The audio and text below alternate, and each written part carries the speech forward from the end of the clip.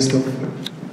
Kerülő Balázs vagyok, a, Bygravity ZRT-nek a hát mondjuk vezérigazgatója magyarul. Ez marha jól hangzik, egyébként ez egy négyfős cég az elmúlt két évben, de ezzel sikerült 800 millió forintot elégetnünk eddig.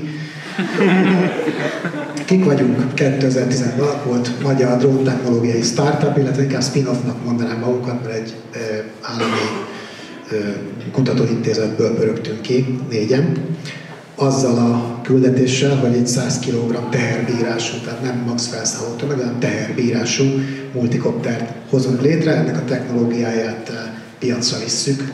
Eh, ez egy for-profit cég, tehát befektetők állnak nyilván mögöttünk. Egyébként onnan indult az ötlet, hogy valaki azt mondta négy kutatónak, hogy ezt nem lehet megcsinálni. Ugye a kutatónak ilyet nem mondtunk meg, elköltenek rá 800 millió forintot. Bíztató kezdés, nem sokkal itt irigykedve hallgattam a Brigi előadását, hogy két nap alatt sikerült prototípus csinálni. Nekünk három hónapunkba kell megvalósítanunk a koncepció demonstrátort. Ez volt a challenge, hogyha ezt meg tudjuk csinálni és repülünk vele egy percet, akkor kapunk befektetést, és, és hát ez sikerült, az én vagyok egyébként. Sose felejtem el, még elő szokott jönni álmaimban. Ugye a célunk az az, hogy ilyen és ehhez hasonló repülő alkalmatosságokat hozzunk létre. Ez magyar drónbicikliként híresült el, ez a piros például. Hát se nem drón, se nem bicikli, de ezt Magyarországon a sajtó így hívja, aztán vannak ilyen terveink is. És hát elindultunk a cél felé. Aztán jöttek a, a problémák, jöttek a, a, a lezuhanások, jöttek a kigyulladások, a felrobbanások, összetörtünk tehát egy, falat ki lehetne tapétázni az összetört légcsavarokkal, meg, meg darab, de mit tudom én, 80 euró, nem 80, 800 euró mondjuk egy szett belőle, és az derült ki, hogy hát nem ugyanaz a kategória, amiben mi kezdtünk el focizni, mint a 10 kg alatti drónok.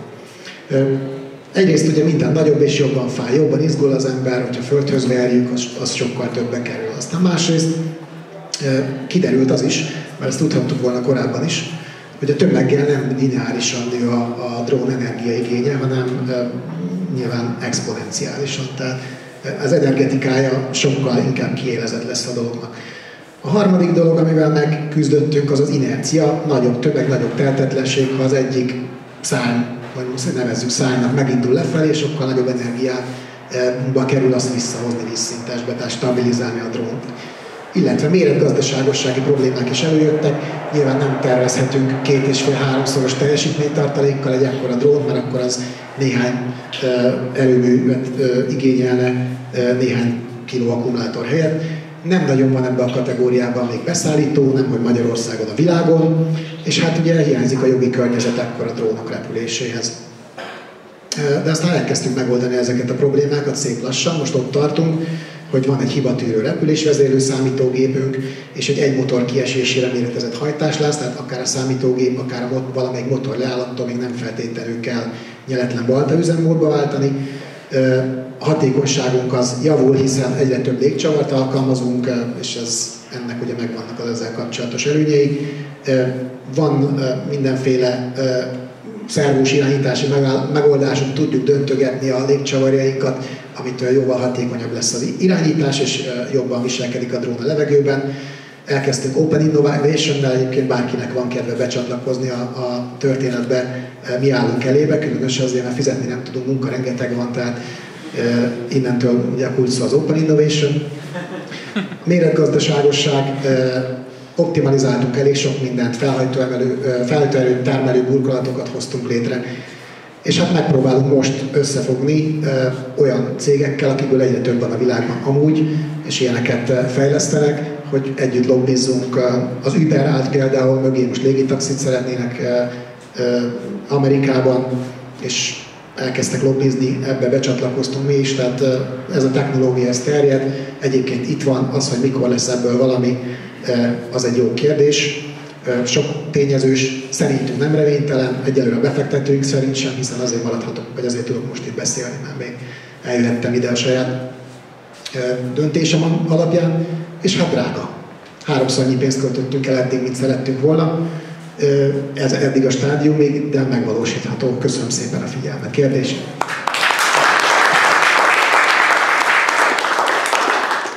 Igen.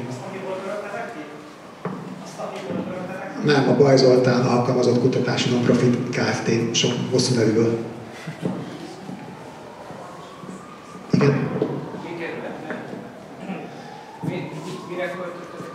Leginkább az a probléma, hogy olyan technológiákat használunk, hogy a kérdés az volt, hogy mi kerül ebben egybe, olyan technológiákat használunk, ami nem off the shelf. Tehát vannak gyártók, akik szerintünk meg tudják azt csinálni, ő szerintük is, amit mi szeretnénk, elkezdenek nekünk fejleszteni, az pénzbe kerül, de hát mégiscsak K plusz nekik is, mert nagy méret, mit tudom én, nagy motorok, sok nagy légcsavarok, tehát a dróniparból pörög ez ki, de, de annyival, annyi nagy az upscale, hogy, hogy nem, tehát mindenkinek ismeretlen még, és ez, ez, ez pénzbe kerül, nem csak nekünk, hanem a beszállítóinak is.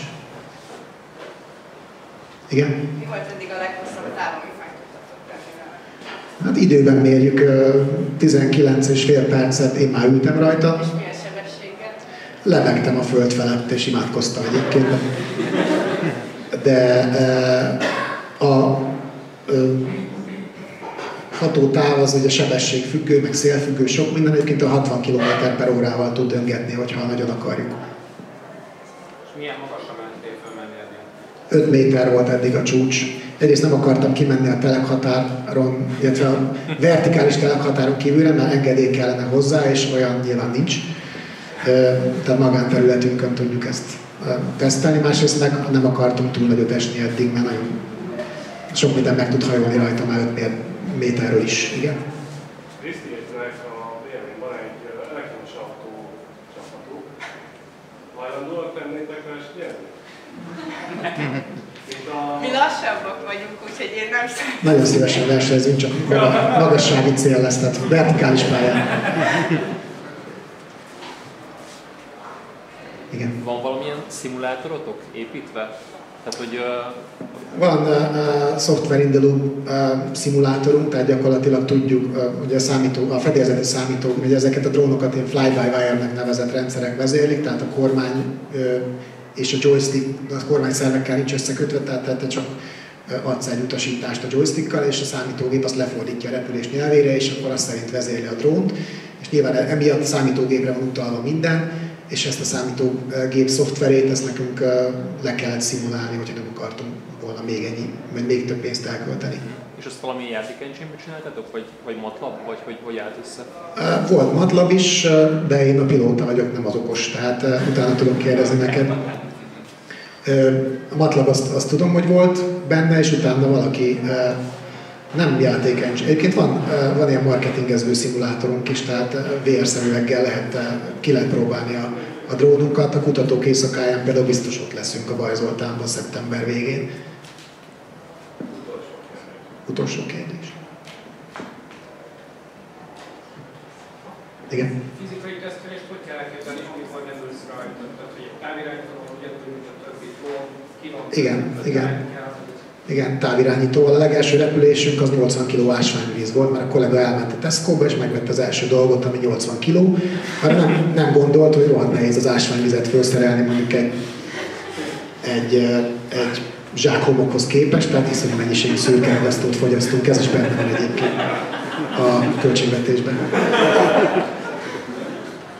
Hát ez volt az utolsó, akkor köszönöm szépen.